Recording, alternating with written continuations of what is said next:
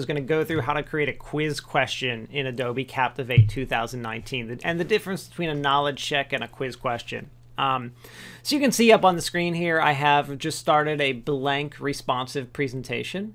Um, and what I'm going to do is I'm going to show you how to do a quiz question and knowledge check. Very easy. So I'm going to go to slides and I can simply select quiz question or knowledge check. Let's start with knowledge check since it's a little more basic. The point of the knowledge check is so it's an internal check for the user. It's not really for you to keep track of.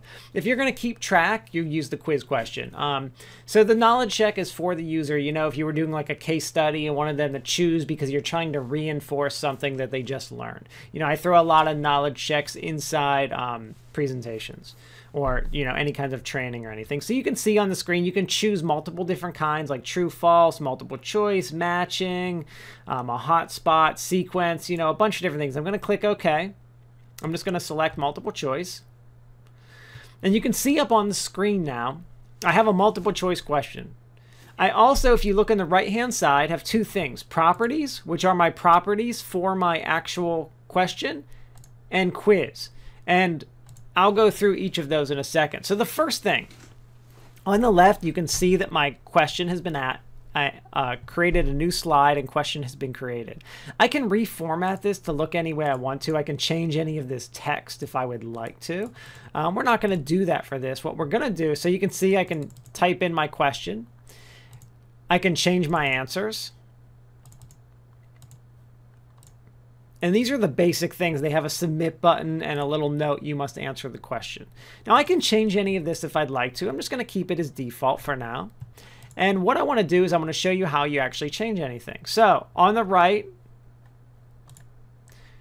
I selected. So each time I select something in here, it goes to actual properties of that specific item, which I don't want to be at. I click on the whole slide to get to the main property. So I'm in my properties and I can see what it's looking like. I can see my actions. So on enter, if someone presses the enter key, we're going to continue. So I can change that to whatever I want to. I might not want that to happen. Um, and I can change my style if I'd like to, the height and stuff, font of the questions and things like that. But really where we get into the meat is in the quiz. So first thing, we have answers. How many answers do I want? I simply click on this and I can enter four. And you can see automatically four have popped up. I can shuffle them. I can have multiple answers. I can change the numbering scheme. I can have different captions for things that happen. And I can change what buttons, like I can have a clear button so that they can clear answers if they would like to a skip button if they would like to skip, a back button if they'd like to go back and review.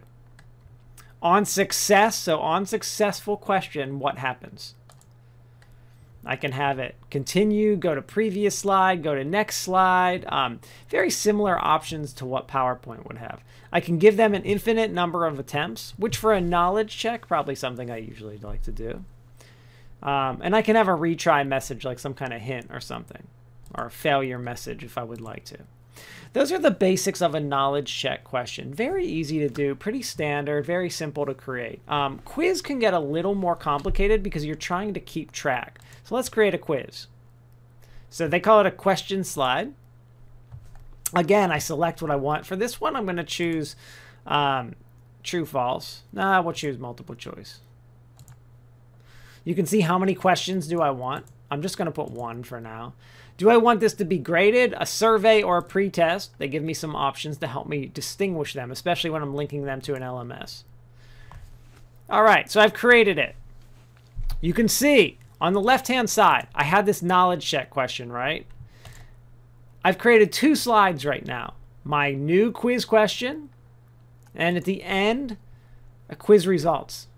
So at the end of the quiz, it'll tell them what they scored, what their max score was, correct questions, total questions, percent correct, how many times they attempted it. And this is all information that I can relay back to my LMS, which I'll show you how to do in just a second. So I go to my quiz, and basically it's very similar to the knowledge check. All the same options. You know, my properties are right here. I can change the basic text, things like that. Um, I can change the number of answers, but notice it says graded up here. So we are grading this. I can change the number of answers. How many points is it worth? Is there a penalty for getting this incorrect?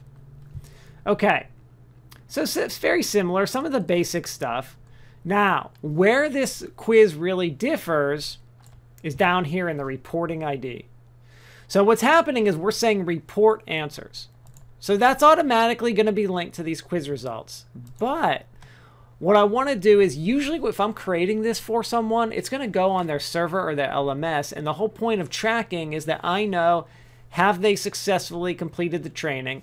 So one track, have they successfully completed the test or quiz so that they, I know that they've learned every single learning objective. So how do I do that? So I'm going to go up in the edit and preferences. So that's in the menu. I go to edit, preferences. I'm going to look down to where it says quiz. And I'm going to go to reporting. I can go to settings, like where I can name it, um, change some basic things, create it. What's my pass fail rate? You know, I have it set for 80% here. But what I really care about is reporting. So what I'm going to do is I'm going to click the enable reporting for this project gives me a number of options. I can publish to Moodle, an internal server, a different LMS, like, you know, Blackboard, Desire to Learn, anything like that. Or, you know, a, an Adobe, like Adobe Connect or something like that. I'm generally, I only publish Personally, I've done it to Moodle, internal servers, other LMSs.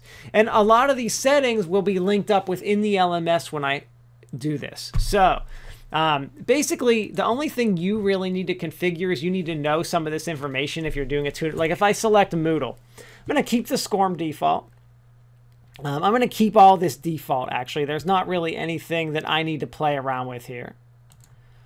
I'm going to click configure. This is to really help me identify the course, make sure it's going to be published correctly so that the LMS can actually track it.